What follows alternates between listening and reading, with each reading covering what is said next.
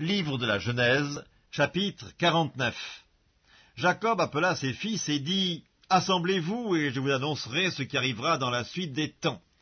Rassemblez-vous et écoutez, fils de Jacob, écoutez Israël votre père. Ruben, toi, mon premier-né, ma force et les prémices de ma vigueur, supérieur en dignité et supérieur en puissance, impétueux comme les eaux, tu n'auras pas la prééminence, car tu es monté sur la couche de ton père, tu as souillé ma couche en y montant.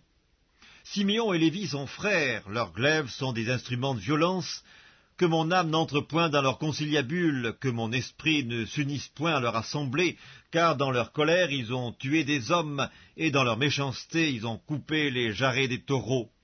Maudite soit leur colère, car elle est violente, et leur fureur, car elle est cruelle. Je les séparerai dans Jacob, et je les disperserai dans Israël.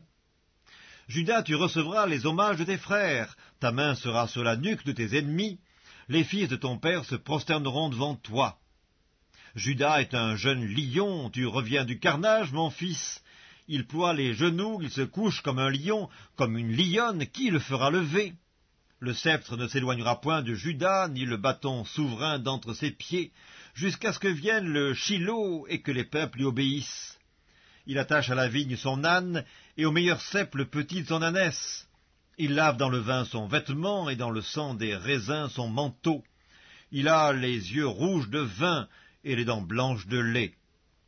Zabulon habitera sur la côte des mers, il sera sur la côte des navires, et sa limite s'étendra du côté de Sidon.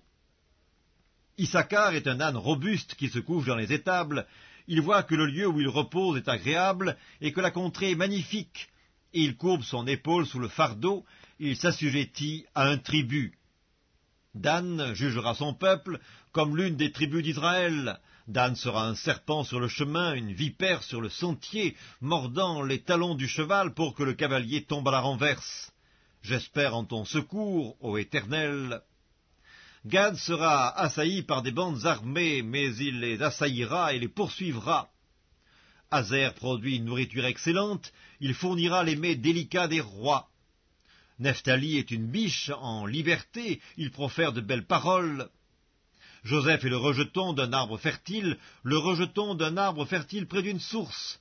Les branches s'élèvent au-dessus de la muraille, ils l'ont provoqué, ils ont lancé des traits, les archers l'ont poursuivi de leur haine, mais son arc est demeuré ferme, et ses mains ont été fortifiées par les mains du puissant Jacob. Il est ainsi devenu le berger, le rocher d'Israël. C'est l'œuvre du Dieu de ton Père qui t'aidera, c'est l'œuvre du Dieu Tout-Puissant qui te bénira.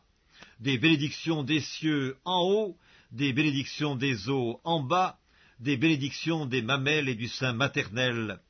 Les bénédictions de ton Père s'élèvent au-dessus des bénédictions de mes pères jusqu'à la cime des collines éternelles.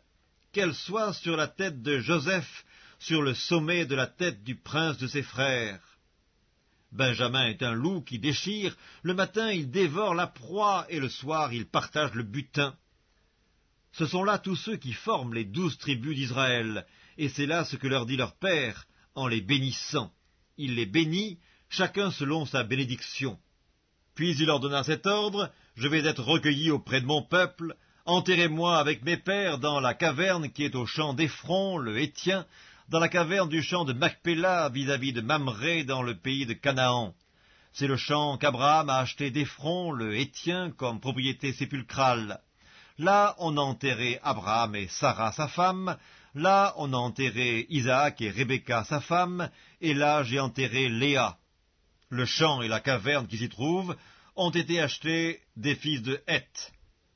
Lorsque Jacob eut achevé de donner ses ordres à ses fils, il retira ses pieds dans le lit il expira, et il fut recueilli auprès de son peuple.